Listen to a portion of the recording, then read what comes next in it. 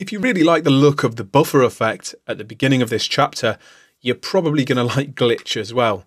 Glitch is similar to Buffre, maybe it's got a few extra effects in it, and it's laid out a little differently. It may be a little bit more flexible, um, but it's just a different approach to a very similar effect. It's got buffer effects in it, but it's also got some effects that Buffre hasn't. So it's got tape stop, etc. So as usual, I'm going to show you the interface and show you how it works and then I'm going to show you in action as well. So like I said, we've got similar effects to Buffre. We've got shuffle, stutter, gate, tape stop and reverse. These can be activated at any time using these manual switches and they're not toggle switches. So it's either on or off. So they're not sort of momentary switches, they're on or off switches. And we can adjust the volume, the mix of each effect, and we can adjust the resolution. So it's a, a synced resolution. The probability we'll get into in a second. But as with Buffre, we can trigger this via MIDI.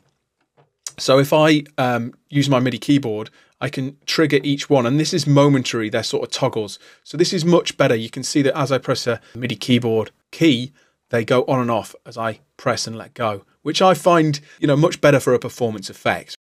So these are quite good for testing the effect while you're working on it, but I would again use a MIDI keyboard or a control surface. So once you've got this set up and you know once you've decided what effects you're going to use, you can start to edit them. The resolution's really really simple to edit because it's just musical measures, sixteenths, eighths, etc.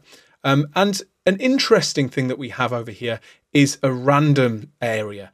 And if we enable this, you'll see the, the lights start flashing. And we've got these knobs in the center here that are called probability.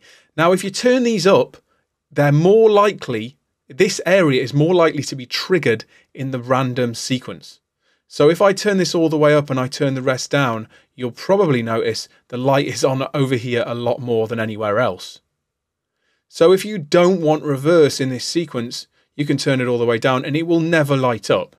If you then turn up something else halfway, these will light up half as much as the shuffle, etc., etc. So, you know, you can really sort of mold and custom shape the sequence of events.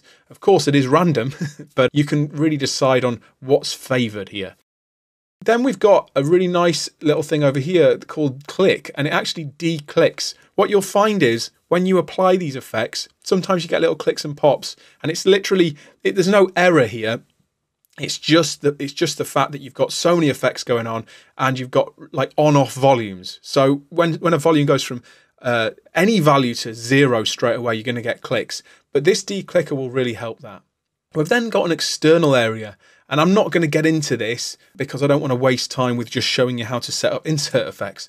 But it's got external 1 to 4, and you can set up, say, reverb sends or returns or delay send and returns, and you can include these and trigger these in the same way as the rest.